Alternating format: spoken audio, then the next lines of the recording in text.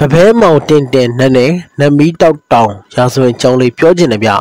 မြန်မာနိုင်ငံဟာသဘာဝတရားနဲ့ပြည့်စုံလှပပြီးတမိုင်းအစင်လာကြီးမားတဲ့ရှေးဟောင်းနိုင်ငံတစ်နိုင်ငံမှာပုံမြင်လိုလိုရာဇဝင်လိုလိုတကယ်ဖြစ်မှန်ထူးဆန်းအံ့ဖွယ်အစုံအလင်ကိုပိုင်ဆိုင်ထားတဲ့နိုင်ငံတစ်ခုပါဘာသာတရားနဲ့တဘာဝကြကြတွေ့ကြည့်ရင်တော့မယုံနိုင်စရာအကြောင်းတရားတွေတဘာဝလွန်ကဲစမ်းကြည့်မှုတွေနဲ့ဖြစ်ရမယ့်သမိုင်းရာဇဝင်များများစွာတည်ရှိတဲ့နိုင်ငံကိုမြန်မာလို့ပဲခေါ်ပါတယ် ဒီထူးဆန်းအံ့ဖွယ်တွေမှာနမီတောက်အကြောင်းကို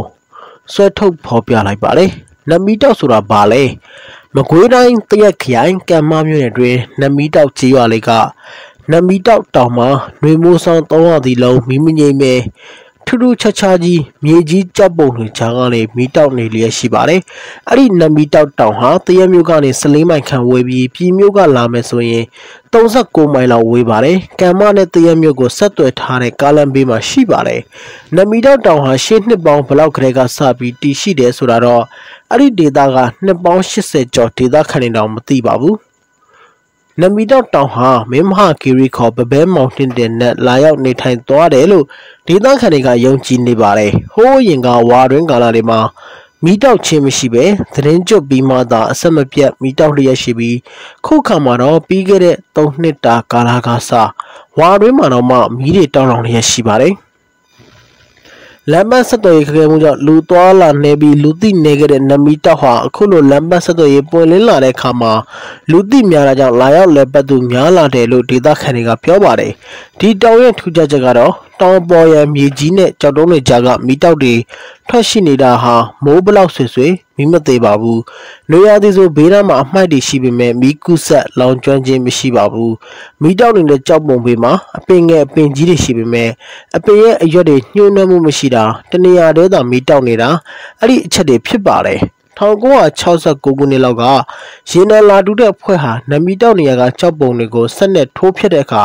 ရုတ်တရက်ဆက်ရက်သွားပြီးထိုးသူလည်းအန္တရာယ်ဖြစ်ကြတယ်လို့မှတ်သားမှုပါတယ်။အဲ့ဒီကြောက်ကြားကမီးတွေကိုညနေပိုင်းနဲ့ညအချိန်မှာပူပီးကောင်းကောင်းမွန်မွန်တွေ့ရပြီးအလင်းရောင်ကိုအဝေးကနေပဲထင်းထင်းရှားရှားမြင်ရတယ်ဆိုပါလေ။ရာဇဝင်ကိုစုံစမ်းကြည့်တော့ဗပဲမောင်တင်တဲ့အကြောင်းအကျဉ်းရုံလို့ပြောရမှာပဲ။ခွန်အားပလကြီးမားတဲ့မောင်တင်တဲ့ကိုဘရင်က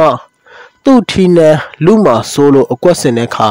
သူခမမင်းပြစ်မင်းတန်းသင်ခဲ့ရပါတယ်။မောင်တင့်တဲ့တယောက်ထွက်ပြေးရင်းဒီရွာကိုရောက်လာပြီးတော့ရွာအနီးကံမှာငကမနဲ့အကြောင်းပါပြီးအဲ့ဒီရွာမှာပဲနေထိုင်ပြီးပပဲအလုပ်ဆက်လုပ်နေတဲ့ဒါပေမဲ့ဘင်းတက်တရလိုက်လံသက်ဖြတ်ခြင်းခံခဲ့ရတဲ့အခါမောင်တင့်တဲ့တယောက်နှစိမ့်ဘွားရောက်ရပြီး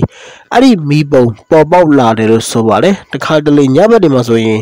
တရှဲရှဲနဲ့ဖိုးထိုးတဲ့နေကိုတော့ကြားရတယ်လို့ဒေသခံတွေကပြောပါတယ်ရှင်းတော့ကဆိုအနီးနားရွာကလူတွေနေဘက်မှာတန်တိုတန်စပေးပြီးမပဲမုံတင်တဲ့နတ်ကိုရီမန်းဆူတောင်းဓားလှန်အထိုင်ရင်မနက်မိုးလင်းတဲ့အခါလူရရတယ်လို့ရွာကန်တွေကဆိုပါတယ်ဒါပေမဲ့ဒီတောင်ပေါ်မှာစကားအမားမခံတာအုတ်ထုပ်မဆောင်ရတာတတွေးမထွေးရတာအဲ့ဒါတွေရှိပါတယ် လာရောက်လေးလာသူတွေကအတိတ်ထက်ဆူတောင်းပြီးဆူတောင်းပြတဲ့အခါဒီတောင်ပေါ်မှာဇေဒီတစိုးတီထားပြီးဆူတောင်းပြဇေဒီလို့ဘွဲမီတတ်မုတ်ထားတာတွေ့ရပါတယ်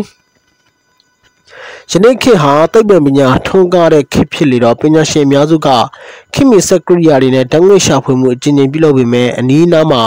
ဘာဓာတ်ငွေ့တိုက်မှမရှိတာထူးခြားလာပါတယ်။သိလို့သူမိတ်ဆွေတွေကတော့လလန်းမိတဲ့တော့လေးလာတင်ပြရခြင်းဖြစ်ပါတယ်။အကြောင်းအရာမပြည့်စုံရင်တော့ နားလည်ပေးကြဖို့နဲ့ပြည့်ပြည့်စုံသိလို့ရင်ကိုယ်တိုင်ကိုယ်ကြတွားရောက်လေးလာနိုင်ပါတယ်လို့ကျွန်တော်အနေနဲ့တိုက်တွန်းလိုက်ရပါတယ်ဗျာ။